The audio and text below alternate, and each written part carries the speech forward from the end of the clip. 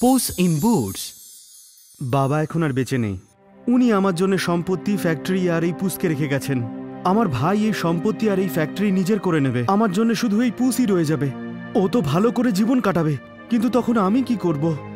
পুষ তো ইঁদুর খেয়ে আরাম করে জীবন কাটিয়ে দেবে। কিন্তু আমি কি করে বাঁচব? পুস নিজের মালিককে দেখে খুবই দুঃখ পায়।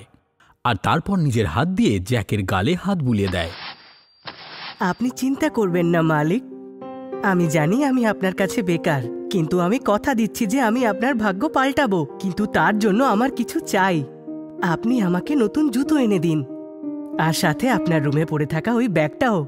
জ্যাকের কাছে খুবই কম টাকা ছিল আরও জানতো যে পুশ খুবই বিশ্বস্ত বেড়াল। এই জন্য একটা চান্স সে নিতে চাইছিল। ঠিক আছে আমার কাছে হারাবার মতন আর কিচ্ছু নেই। যেটুকু টাকা বেঁচে আছে সেটা দিয়ে আমরা কালকে নতুন বুট কিনবো। মালিক আপনাকে কথা দিচ্ছি যে আপনাকে আর পস্তাতে হবে না। জ্যাক পুসের জন্য একটা সুন্দর টেকসই বুট কিনে দিল। পুস সেটাকে পরল আর ওর ফিট তো হলোই সাথেও স্মার্টও দেখাচ্ছিল। এবার দেখবেন মালিক আমি আপনার ভাগ্য পাল্টে দেব। আপনি আমার উপরে ভরসা করেছেন আর এখন থেকে আপনি আমার দায়িত্ব। ও জ্যাকের ঘর থেকে পুরনো ব্যাগটা নিল দুটো গাজর নিয়ে বেরিয়ে পড়ল। যেমনটা ভেবেছিল ঠিক তেমনটাই হলো। দুটো দুরন্ত খরগোশ ব্যাগটার কাছে এলো।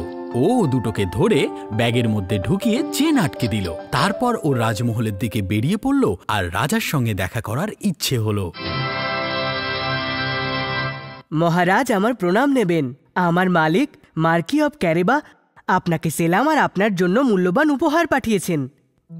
আরে এটা রান্না হওয়ার পর তো খুবই সুস্বাদু লাগবে। ওগুলো রাঁধুনির কাছে নিয়ে যাও আর রাতের খাবারের জন্য প্রস্তুত করো। আর আমার তরফ থেকে তোমার মালিককে ধন্যবাদ জানিও। দ্য মার্কি অফ ক্যারেবা আমার মহারাজ।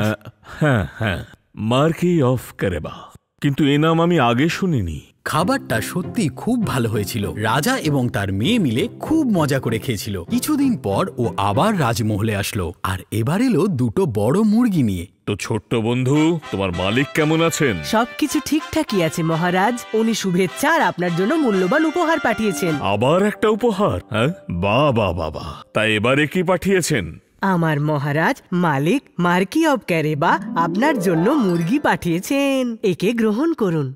ও, দেখছি খুবই ভালো। আমি এটাকে রাত্রে খাব।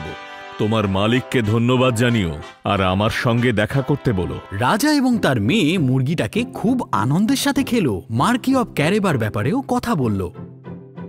ওই রাজার সাথে সাথে নিজের মালিক জ্যাকের জন্য কিছু কিছু জিনিস নিয়ে আসতো। জ্যাক আর পোস ছোট্ট একটা ঘুমটির মধ্যে খুব আনন্দের সঙ্গে থাকতো, আর জ্যাকও না খেয়ে থাকতো না। যেমনভাবেই সময় যেতে লাগল, পুসের রাজমহলে যাতায়াতও বেড়ে গেল। মালিক উপহার পাঠিয়েছে বলে সে রাজমহলে ঢুকে পড়ত। মহলের সব চাকর বাকররাও মার্কি অফ কেরেবার ব্যাপারে কথা বলতে শুরু করল, যাকে কেউ কোনোদিন দেখেওনি আর যার ব্যাপারে কেউ শোনেওনি। এই জন্য সবাই আগ্রহী ছিল। এটাই ঠিক সময় মালিকের সাথে মহারাজের দেখা করানোর। কিন্তু এটা কীভাবে সম্ভব? না আছে মালিকের কাছে ভালো পোশাক আর না আছে মহল পর্যন্ত যাওয়ার জন্য ঘোড়া। আমায় কিছু একটা উপায় বার করতেই হবে। পরের দিন যখন পোষ খরগোশ ধরার জন্য বের হলো তখনও কিছু লোককে নদীর পাশে কথা বলতে শুনল।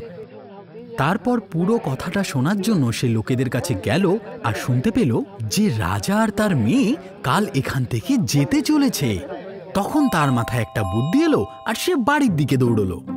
মালিক শুনুন। দাঁড়াও দাঁড়াও বলো কি বলবে? মালিক মহারাজের সাথে দেখা করার সময় এসে গেছে। বুঝ তোমার মাথা ঠিক আছে তো? মনে হয় তোমার বিশ্রামের প্রয়োজন। না না মালিক এটাই একেবারে ঠিক সময়। কাল মহারাজ ওনার কন্যাকে নিয়ে এখান থেকে চলে যাচ্ছেন আর এটাই একেবারে উপযুক্ত সময়। আমি বুঝতেই পারছি না তুমি কি বলতে চাইছো। মনে হয় তোমার সাথে সাথে আমিও ঝামেলায় পড়ব। মালিক আমার কথা শুনুন প্লিজ। যেমনটা আমি বলছি তেমনটা করুন। জ্যাক পুরোপুরিভাবে প্রস্তুত ছিল না আর ও রাজার সাথে দেখা করতে ভয় পাচ্ছিল। পুস খুবই বিশ্বাসী আর ও কখনো কোনো ভুল করে না। ও প্রতিদিন আমাকে খরগোশ আর মুরগিদের মতন খাবার দিয়ে গেছে। মনে হয় ওর উপরে একবার ভরসা করা যেতে পারে।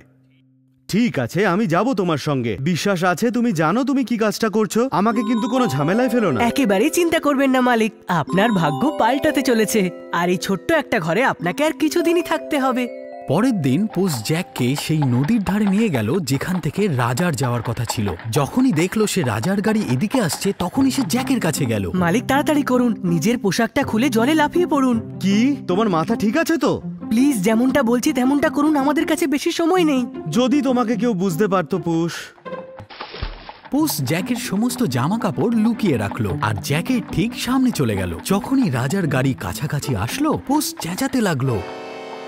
হেল্প হেল্প কেউ সাহায্য করো। রাজা নিজের জানলা দিয়ে দেখল আর সাথে সাথেই পুসকে চিনতে পারল। প্রণাম মহারাজ। আমার মালিক নদীতে স্নান করতে নেমেছিলেন আর কিছু চোর ওনার পোশাক চুরি করে নিয়েছে। উনি সাঁতার কাটতে পারেন না উনি ডুবে যাবেন।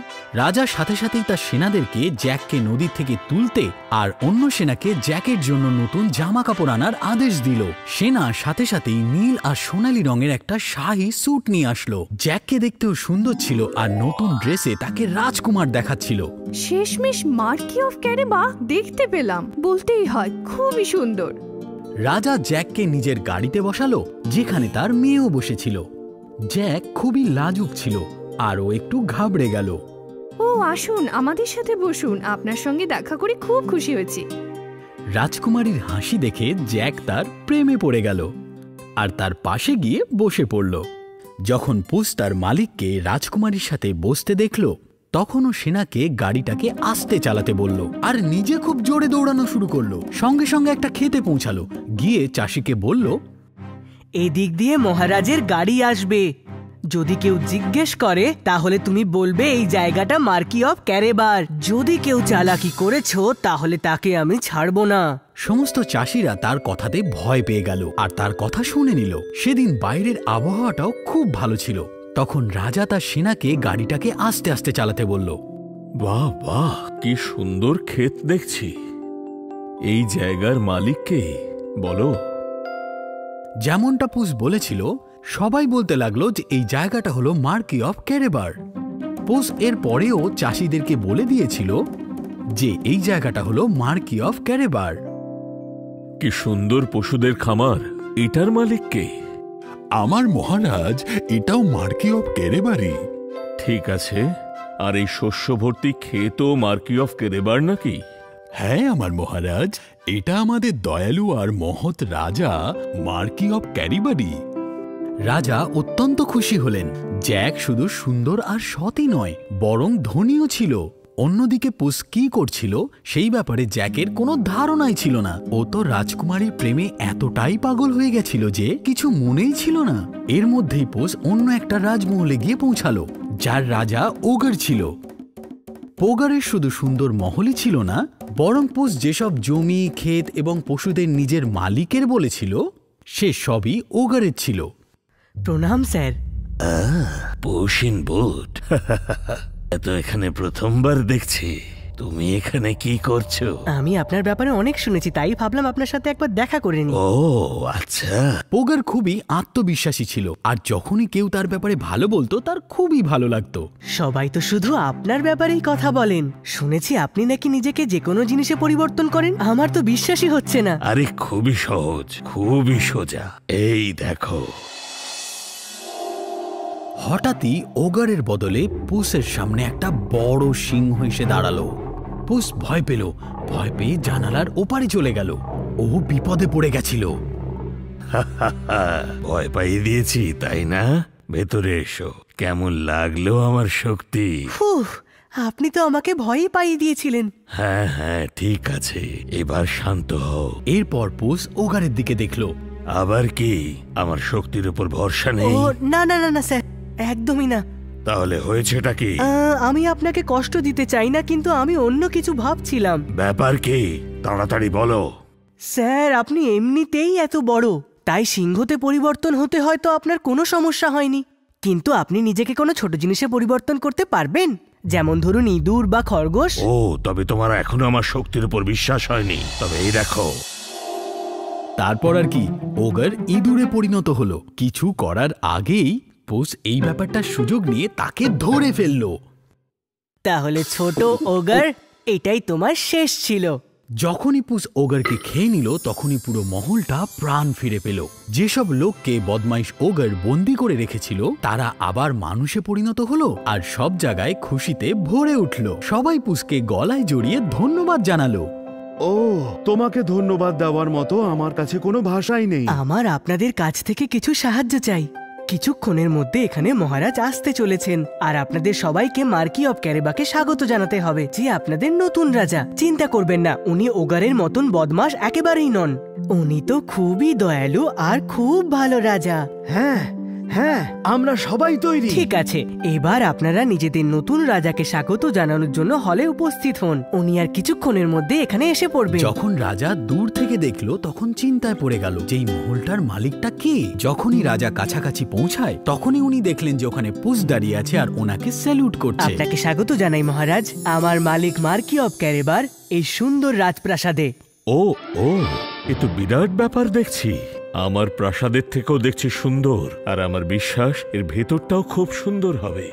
আপনি নিজেই দেখে নিন। আসুন মহারাজ। জ্যাক কিছুতেই বুঝতে পারছিল না যেগুলো হচ্ছেটা কি করে। ও পুসের দিকে তাকালো আর পুস চোখ মারলো। আর তারপর জ্যাক বুঝতে পারল এসবই পুসের কাজকর্ম। আর সাথে সাথেই তার মুখে হাসি চলে এলো। রাজা মহলটাকে এবং ওখানে দাঁড়িয়ে থাকা সব মানুষজনকে দেখার পর খুবই খুশি হলো। তুমি সত্যিই একজন হৃদয়বান সৎ এবং সুন্দর ছেলে। আমি নিজেকে অত্যন্ত ভাগ্যবান মনে করব যদি তুমি আমার মেয়েকে বিবাহ করো। ও জ্যাকের আর কি দরকার ছিল? তার বিশ্বস্ত পোস্টটাকে একটা বড় মহলের মালিক বানিয়ে দিল আর রাজা তার জমি জমার সাথে তার সুন্দরী মেয়েকে তার হাতে তুলে দিয়েছিল যাকে সে খুবই ভালোবাসত। আজ্ঞে মহারাজ আপনার মেয়েকে বিয়ে করাটা আমার সৌভাগ্যের ব্যাপার। আমিও শেষ নিঃশ্বাস অব্দি খেয়াল রাখব। আজ তুমি আমায় অত্যন্ত সুখী করলে। আমি জানি যে আমার মৃত্যুর পর তুমি এই রাজ্যকে খুব সুন্দরভাবে সামলাতে পারবে। তারপর জ্যাক আর তার রাজকুমারী খুবই খুশি থাকল। আর পোস, সে তো অনেক উপহার পেল, তার সাথে খুব ভালোবাসাও পেল। আর হ্যাঁ নিজের মজা আর শরীর চর্চার জন্য সে নিজের পছন্দের ইঁদুর ধরার কাজটা কোনোদিনও ছাড়ল না।